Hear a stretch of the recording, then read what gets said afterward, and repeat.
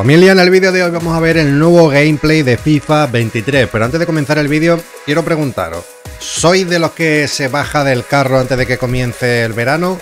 ¿O sois de los que aguantáis hasta el siguiente FIFA que estáis jugando todavía en julio, en agosto, hasta septiembre que sale el siguiente? La verdad que este año es un FIFA un poco de muchos cambios y creo que el siguiente, el FIFA 23, va sobre todo a tener un antes y un después en las nuevas generaciones, en las nuevas consolas, Play 5 y PC, que también va a adquirir el nuevo Next Gen que le llaman. Pero bueno, vamos a ver el tema del gameplay, a ver qué tal. Es un poquito diferente. Creo que va a ser todo muy lento, muy, pausado. Un poquito más todavía. Este año en Play 5, por ejemplo, hemos notado el cambio. La gente que juega Play 5 yo empecé jugando Play 4 y terminé jugando Play 5. Lo he probado en PC y jugué en Xbox. Y la verdad que en Play 5 es la forma más cómoda. Y creo que este año la gente que juegue en PC y en Play 5 y en Xbox, la nueva generación, va a tener un poco más de ventaja a la hora de disfrutar el 100% del juego. Y bueno, los cambios realmente, el Hypermotion 2 me da un poco de miedo, el sistema de club de fútbol femenino, ataque, defensa, todo este tipo de cositas, skill, siempre meten un par de ellos nuevos.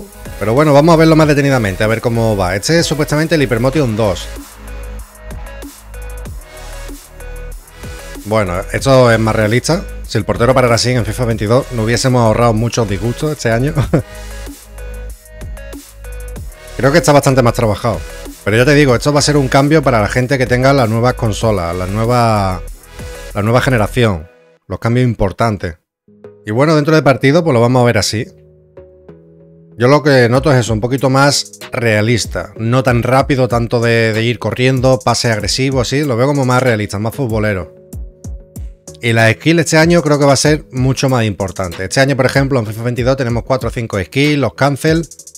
Y podemos hacer cositas bastante chulas. Pero creo que este año en FIFA 23 el tema de la skill va a marcar la diferencia. No sé por qué. Aquí vamos a verlo in-game, el tema de, los movimientos, de la skill. Creo que va a ser mucho más preciso. Este año ya estamos notando muchos cambios en el gameplay, es lo, lo que comentaba antes. Creo que estamos nosotros mismos testeando el juego en FIFA 22 de cara a, la nueva competición. Este es el regate que te digo que atraviesa la pierna, un fallo bastante grande.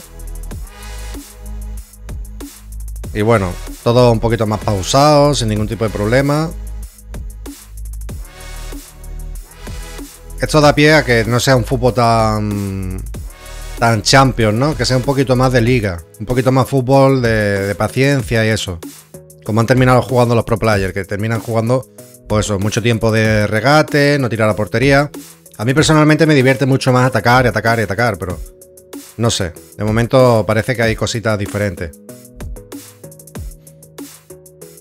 A mí me resulta mucho más atractivo el tema de, la vistosidad, la diversión, atacar, no ganar de cualquier forma. Aquí vemos el tema de la defensa mucho más perfeccionado el cambio que han introducido en FIFA 22 de la defensa. Pulsando L2 lo veo mucho más real. Esto sí está muy guapo. Eso está muy guapo. Está muy, muy chulo. Y vamos a ver una forma de aceleración dentro del juego. A ver, a ver qué nos sorprende. Vale, vemos el sprint rápido de Messi, luego mantiene la velocidad y vemos la zancada larga, los tipos diferentes de carrera. Qué chulo, está muy guapo esto.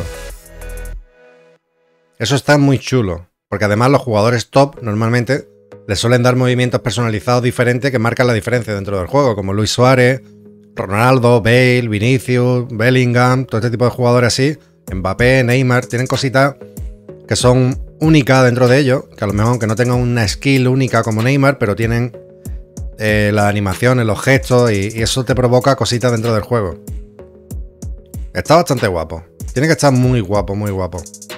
Me llama mucho la atención de forma positiva. Creo que vamos a notar un cambio bastante, bastante grande. Estos son los tipos de carrera.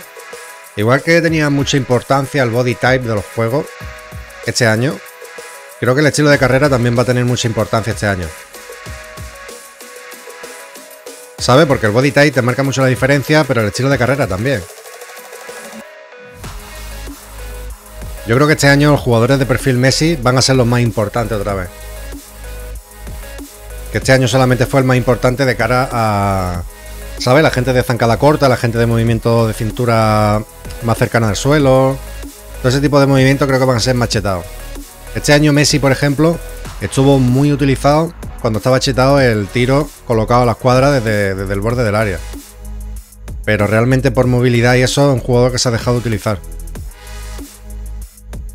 La forma de atacar, a ver qué, nos ponen por aquí. A ver cómo se marcan goles este año. Aunque después el juego igualmente no tiene nada que ver. Ellos planifican una cosa y después los jugadores realmente terminan encontrando la verdadera forma de marcar muchos goles. Vale, los tiros que le pega a romper delante del portero, que están guapísimos. Los tiros de fuera del área que a mí me encantan. Lo que pasa es que este año se pasaron. Los porteros no pillaban ni una cuando tirabas con un tiro de calidad. Ahí le pega mordida. La verdad que está bastante, bastante chulo. No sé qué, qué pensáis. Mira que te pone hasta la velocidad en la repetición. Dios, qué guapo.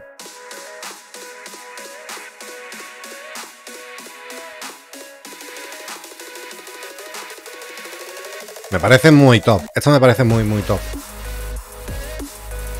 Ese regate pues será uno de los regates nuevos.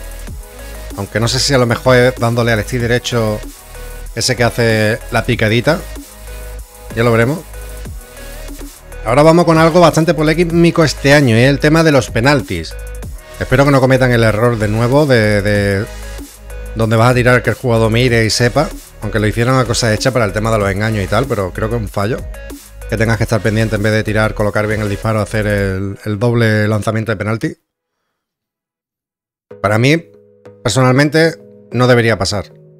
Eso de la barrera lo van a arreglar. Se puede poner la opción de que se tire un jugador detrás de la barrera para evitar los tiros bajos. A mí es un gol que me gusta mucho. Lo que pasa es que este año prácticamente casi nadie salta. Como nadie tira apenas directa a puerta. A mí me gusta mucho porque se marcan muy fácil los goles por debajo de la barrera. La forma nueva de tirar la falta me parece espectacular. Esto es lo que os comentaba. Este año en FIFA 22 habréis visto muy pocos goles por debajo de la barrera. Yo creo que he marcado dos o tres solamente. Y ahora vamos a ver el tema de la defensa, la polémica más grande de este año. Porque sobre todo ha cambiado muchísimo. Han cambiado la inteligencia de la IA, las intercepciones de los pases, los bloqueos. Ha sido muy estresante en algunas fases del juego.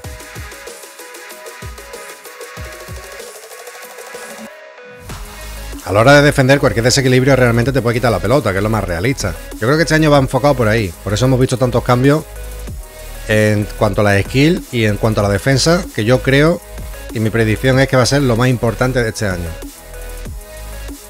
Y los grandes cambios de este año.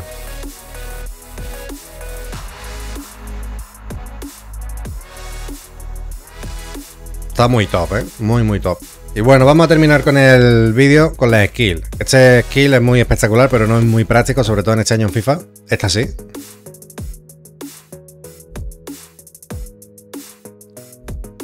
Está guapa la repetición esta, ¿eh? Pero quiero ver dentro del juego, no quiero las animaciones ni las repeticiones, quiero ver dentro del juego in-game. Ojo, hemos visto cómo pasaba entre dos defensas y después ha quebrado un tercero.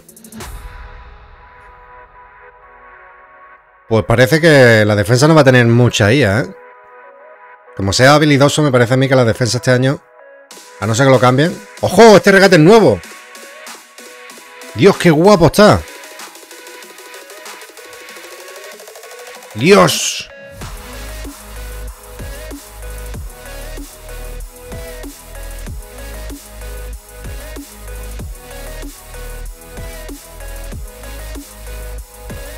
Pues bueno, yo creo que los grandes cambios a simple vista son eso, defensa y movimiento de skill, habilidad a la hora de, moverte, de hacer las skills y de hacer las animaciones.